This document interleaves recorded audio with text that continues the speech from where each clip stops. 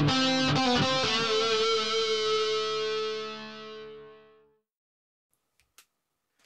have got my blue milk with rum in it. This is a Star Charter.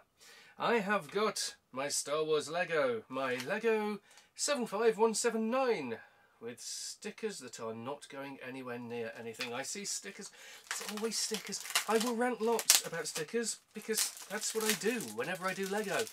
Just print the damn bricks, damn you. That's right, there are stickers to be ignored. Not continued, not confirmed, ignored. And there's a book. There's a book of many pages. How many pages? Well, there were adverts in the book for other things, about 77. There's going to be a lot, a lot of pages, a lot of Lego. There are six bags, I think, not including Inception bags. What's at the beginning? Wear a green t-shirt. I'm already fucked. Use the brick separator on bricks that aren't in this kit. That makes no sense. And then put a big grey thing together. That's what I'm going to do. And I suppose I need to start with bag one, which also means I need to put other bags out the way. It'll be fine. The more things go together, the less space I need for bags. That's my theory. Bag one is quite loud. Bag one has bricks in it, which I'm going to take out of the bag and turn into something. And while I'm doing that, I'm going to try to remember anything really.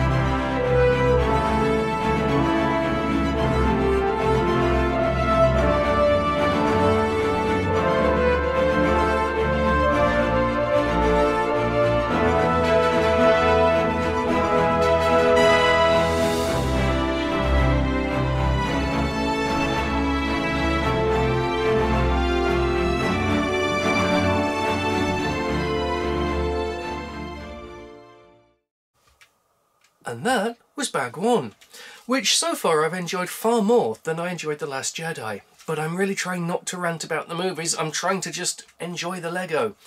And so far I have, even though Kylo Ren does have his twat saber.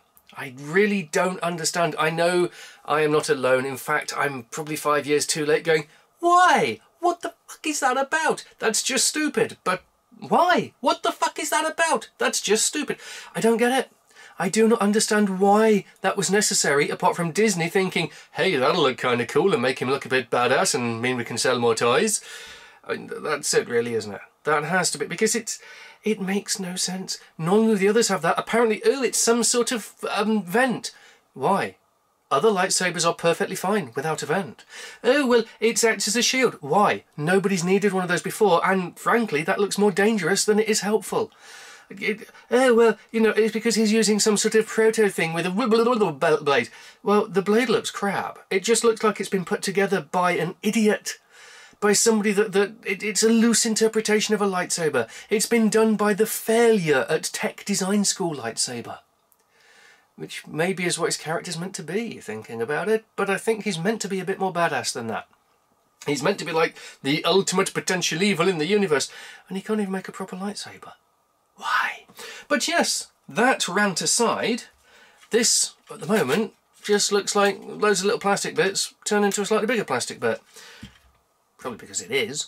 But there are loads, lays, lays, there are lasers more. There are loads more little plastic bits that need to be turned into this to be an even bigger plastic bit that hopefully will start looking like something other than just a collection of little plastic bits.